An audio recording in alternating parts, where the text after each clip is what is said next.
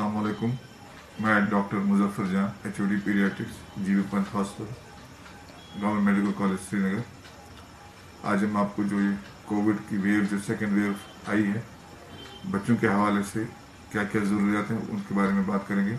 जो ये second wave है, इसमें ज़्यादा बच्चे इन्वॉल्व हो रहे हैं। और चूँकि ज़्यादा तादाद में बच्चे इन्वॉल्व हो रहे हैं तो चांसेस ऑफ़ सीवियर डिज़ीज़ थोड़ी बढ़ रही है।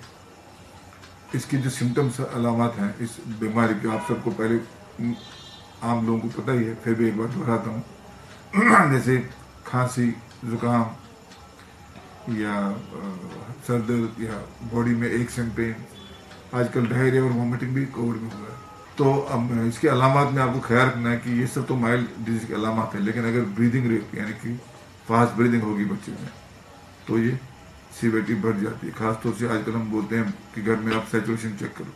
सेचुरेशन 94 के ऊपर होनी चाहिए। अगर 90 और 94 के बीच में आ गई तो ये मॉडरेट डिज़ीज़ की अलामत है। और अगर 90 के नीचे चले गए तो सीवियर डिज़ीज़ की अलामत है। तो इन अलामत से आप अपने आप को खबरदार रखिए और आ, कुछ से बता दूँ। अगर हल्का सा जुकाम खांसी बुखार है तो घबराने की कोई ज़रूरत नहीं। घर में भी आप बच्चे को आइसोलेट कर सकते हैं और बुखार हो तो पैरास्टमोल दे सकते हैं। आजकल हम लोग इम्यून जो बूस्टर्स हैं जैसे जिंक है वाइटामिन सी है वो दे सकते हैं बच्चों को। उनकी आप घर में मॉनिटरिंग खुद कर सकते हैं। आपको खाली देखना बच्चे को फास्ट ब्रीदिंग या ब्रीदिंग डिफिकल्टी तो नहीं है। बच्चा फीट ठीक ले रहा है लेथार्जिक तो नहीं है ड्रॉजी तो नहीं है।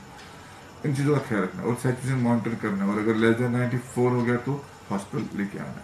कई बार माँ ये क्वेश्चन होते हैं कि अगर माँ पॉजिटिव है तो क्या बच्चे को अपना दूध दे सकती है? तो जो रिकमेंडेशन प्रेजेंटली है कि माँ अगर पॉजिटिव हो तो भी अपने बच्चे को दूध पिला सकती है। लेकिन वो मास्क लगाएँ और हैंड वॉशिंग करें उस टाइम में। और बाकी टाइम में बच्चे को दूर रखें अपने से। अगर घर में जगह है तो दूसरे कमरे में कोई दूसरा बंदा उसका केयर करेगा। अगर नई जगह तो एक ही कमरे में कम से कम छः फुट का डिस्टेंस रखें दूर बच्चे को रखें।